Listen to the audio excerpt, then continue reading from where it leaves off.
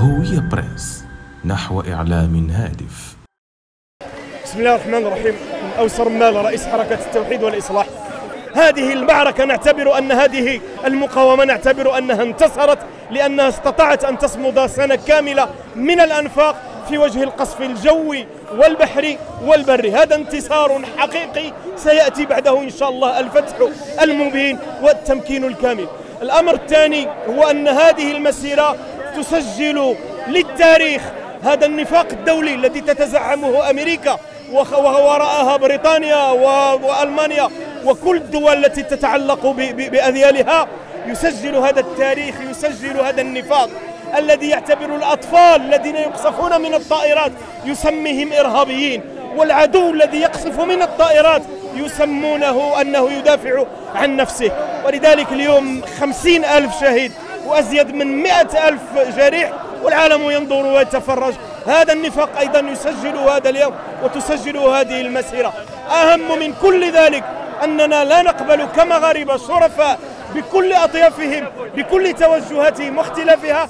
لم يعودوا يقبلون أنه بعد هذا الذي حدث كله ما زالت دولتنا مطبعة مع هذا العدو. ما زال عندنا مكتب اتصال. هؤلاء المغاربة هؤلاء الأشراف هؤلاء الأحرار خرجوا ليقولوا لا للتطبيع. كيف أن الشعب المغربي بمختلف مكوناته يأتي ليتظاهر وليعبر بقوة عن رفضه وشجبه وإدانته لهذا الهجوم الهمجي الصهيوني وهذا العدوان على الشعب الفلسطيني بغزة الذي يدوم منذ أزيد من سنة لكن أيضا بباقي التراب الفلسطيني. هذا العدوان الذي أدى إلى عشرات الآلاف من القتلى ومئات الآلاف من من الجرحى.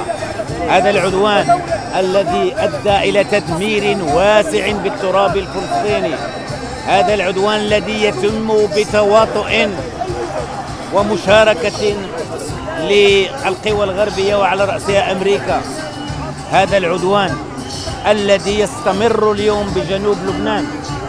هذا العدوان الذي يدل عن الطابع الهمجي الفاشل للنظام الصهيوني الذي يريد القضاء على القضية الفلسطينية والذي يريد تمديد التوتر والحرب.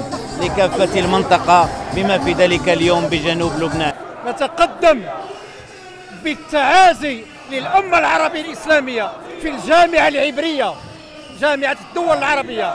ونتقدم بالتعازي في وفاة منظمة المؤتمر الإسلامي. نتقدم بالتعازي في كل من وقف يتفرج على الإبادة الشعب للشعب الفلسطيني واليوم للشعب اللبناني. القضية ستنتصر ستنتصر والخونة لا مكان لهم مستقبلا في هذه الأمة.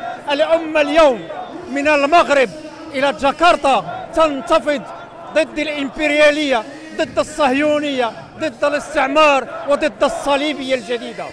في جمعية هيئة المحامين بالمغرب نحضر هذه المسيرة الوطنية من أجل فلسطين لنقول لا للمجازر لا لجرائم الإبادة الجماعية. نقول إن آلة الحرب الإسرائيلية هلكت شعبا وهلكت أبرياء ولذلك فإن كل ما يصدر عن هذه الآلة عن هذا الكيان الصهيوني هو مخالف للقوانين الدولية الإنسانية. لذلك نناشد المنتظم الدولي للتدخل الفوري والعاجل لوقف هذه المهزلة الإنسانية. الدكتور أمين بوزوبع منسق مهني الصحة. اليوم نحن بصدد مسيرة تضامنية مع أهلنا في غزة وفي الضفة الغربية ونابلس وكل المدن آه، المقاومة لهذا العدو الصهيوني الذي ما فتئ آه، يقصف المدنيين بكل أنواع السلاح المحرمة وبالقنابل المحرمة دوليا. اليوم مهني الصحة ينضم تنضم لهذه المسيرة الشعبية التي يشارك فيها مختلف الشرائح الوطنية. آه، من أجل التنديد أيضا ويستنكرون بما يقع من من قصف على المدنيين. اليوم نشهد نحن بصدد 42 ألف من الشهداء الذين قدمتهم المقاومة وقدمت قدمتهم فلسطين حماية لكل المقدسات وللأقصى آه، بالنيابة على كل الدول الإسلامية والعربية. اليوم هناك انهيار تام للبنى التحتية انهيار المنظومة الصحية. آه للأسف آه كل الجرحى لا يستطيعون حتى العلاج بأبسط الوسائل.